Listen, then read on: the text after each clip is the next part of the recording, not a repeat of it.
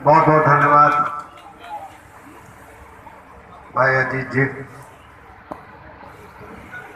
महसूस ये होता है कि दौरे तबाही है। शीशे की अदालत में पत्थर की गवाही है।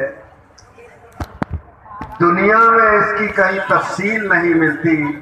कातिल ही मुहाफिज है, कातिल ही सिपाही है।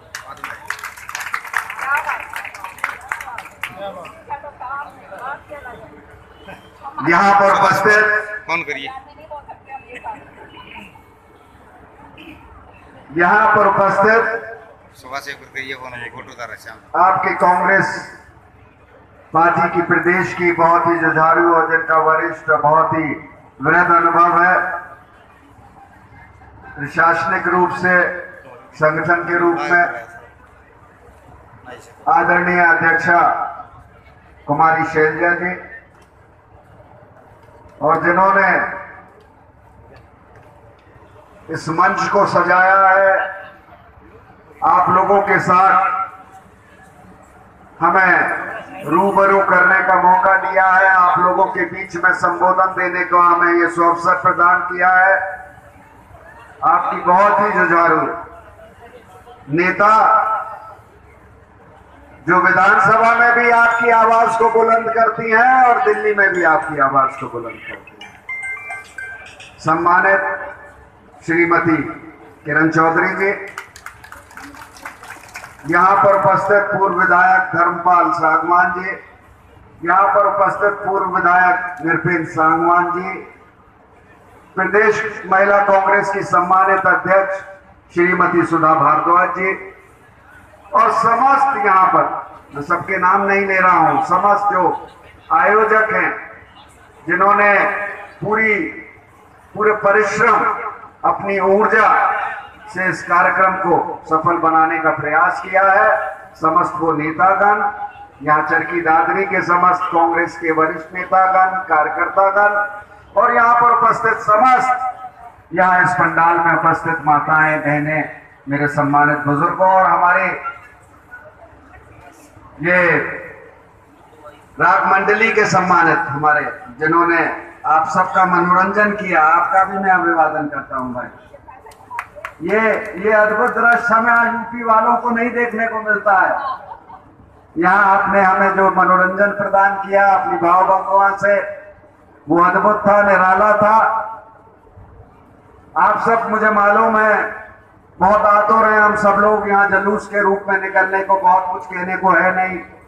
काफ़ी कुछ बहन किरण चौधरी जी ने कह दिया और उसके पश्चात आपकी सम्मानित अध्यक्षा कुमारी शैलजा जी मैं सिर्फ़ इतना ही कहना चाहूँगा कि आज जो हम सब लोगों ने यहाँ, आज जो एक पीड़ा उठाया है, जो इस केंद्र अखिल भारतीय कांग्रेस कमेटी ने आह्वान किया था, क्योंकि दर्द था राहुल गांधी जी के सीने में।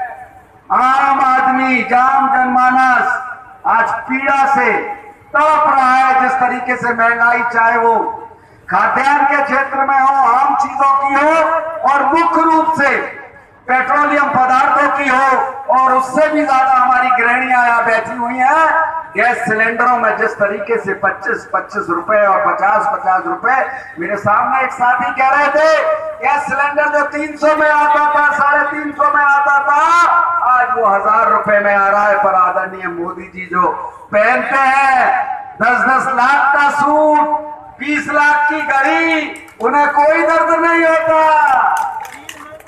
एक दिन में पाँच पाँच बार कपड़े बदलते हैं, कोई सवाल करने वाला है, उन भक्तों से से पूछिए, जो उनको महिमा मंडित करते नहीं, थकते आज पूरा देश त्राई त्राई कर रहा है। और हरियाणा का प्रदेश खास तौर से, क्योंकि किसान आज सड़कों पर उतर आया है, पर आज आठ महीने से ज़्यादा हो गए, उसकी सुनवाई नहीं है। आपने देखा यहाँ पे, कोविड का जिस तरीके से कुप्रबंधन हुआ, कोविड के जबकि बार बार हमारे नेता राहुल गांधी इस बात को कह रहे थे, दूसरे संक्रमण की जो कोविड की स्मारक की लहर आएगी, उसकी तैयारी होनी चाहिए, पर तैयारी किस चीज़ की थी पता है आपको?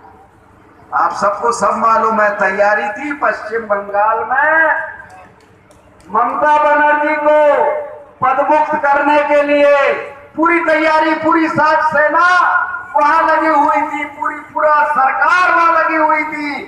पर लेकिन जनता किस तरीके से जाने जा रही थी? परिवार की जाने जा रही थी। लोग सड़कों पे, अस्पताल के बाहर ऑक्सीजन से, ऑक्सीजन की आपूर्ति नहीं हो पा रही थी और उसके कारण अपनी जान दे रहे थे। पर मन की बात में इसका कोई उल्लेख नहीं कि किस तरीके से क्या किया। कहते हैं ना कि पूरा रोम जल रहा था और नीरो बांसुरी बजा रहा था तो हमारे नीरो थे ये। बांसुरी बजा रहे थे। आज ये सब हम लोगों को आवाज़ उठानी है। आप लोगों को उठानी है।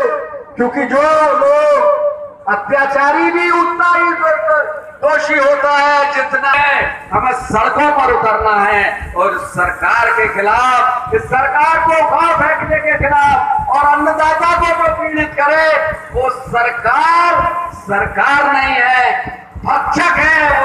नहीं है और जो रक्षक भक्षक बन जाते हैं, उनका क्या इलाज होता है? उनको फाड़ के फेंक दिया जाता है, उनको सड़कों पर कहते हैं ना, जनता जानती है लोगों को अर्श से फर्श पर लाना, और आज ये लोग आपने अर्श पे आप लोगों ने बिठाया था। आप ही लोगों ने अच्छे दिन के लोग आपने नारे में प्रवाहित हो गए थे, बह गए थे, कि कुछ अद्भुत होने वाला है, अच्छे दिन आएँगे। क्या क्या लाएँगे, ये सब आपके दिल में भावना थी। और ये अच्छे दिन की अगर परिभाषा है तो खराब दिन क्या होंगे, मैं आपसे प्रश्न करना चाहता आज हम सब लोगों को ये सोचना होगा कि नौजवानों को खासतौर से नौजवान बड़ा प्रफुल्ल था बड़ा उत्साही था बड़ा उमंग से था उसने बड़े एक एक में दस दस वोट इस सरकार को डाले, पर उसका परिणाम क्या हुआ, आपने देखा। आज वही कहीं ना कहीं ठगा सा महसूस करता है। आज बेरोजगारी चरम पर है। आज उसे नौकरी नहीं मिल रही है। आज नौकरी के लिए दफ्तर की ठोकरे खा रहा है और उसको नौकरी नहीं मिल रही। आज उसको भी अपने आप को ये महसूस करता है इस सरकार ने सिर्फ़ जुमलेबाजी के अलावा और कुछ नहीं दिया देश को।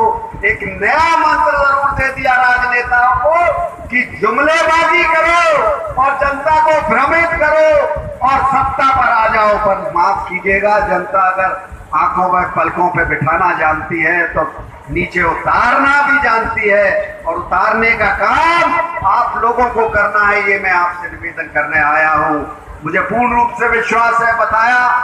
पेट्रोलियम पदार्थों की कीमतें बताई कि आज सैकड़ा भी पार हो रहा है। आज तो दोहरा से छतक भी सरसों का तेल दो सौ से ऊपर, पेट्रोल डीजल सौ से ऊपर। गैस सिलेंडर हज़ार से ऊपर।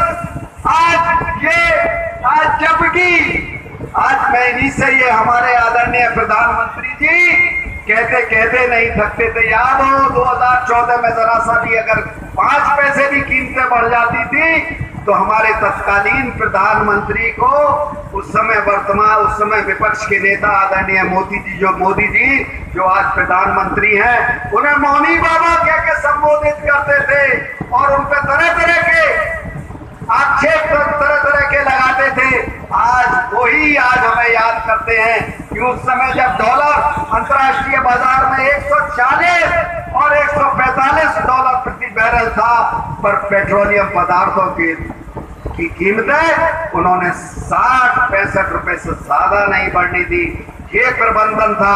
आज हम नमन करते हैं आदरणीय डॉक्टर मनमोहन सिंह जी को, जो इसके बावजूद की अंतर्राष्ट्रीय मद्दी थी पेट्रोलियम पदार्थों की कीमतें अंतर्राष्ट्रीय बाज़ार पर आसमान को छू रही थी, पर उन्होंने आम आदमी की पीड़ा को समझा और उनकी कीमतों पर नियंत्रण किया। आज हम उनको पुनः स्मरण करते हैं और साधुवाद और नमन और प्रशंसा करते हैं और आज मान, माननीय वर्तमान प्रधानमंत्री जी से सिर्फ़ प्रश्न करते हैं कि आज के बारे में आज जो वर्तमान परिस्थिति है, जो विकराल परिस्थिति है। आम आदमी का जीवन यापन नहीं हो रहा। उसके बारे में आदरणीय प्रधानमंत्री जी, आपको क्या कहना है और आपके मंत्रिमंडल को क्या कहना है? और आज मैं व्हाट्सएप में पढ़ रहा था कि मंत्रिमंडल के सिलसिले में एक में डाला कि अगर छप्पन मंत्री इस देश को इस कगार पे बर्बादी सकते हैं तो छिहत्तर मंत्री कितने दिन में लाएँगे? ये प्रश्न था कि बर्बादी की ओर। मंत्रिमंडल बदलने से कुछ नहीं होता। कप्तान की अगर नीयत ठीक नहीं है, क्रिकेट टीम में कप्तान को बदला जाता है।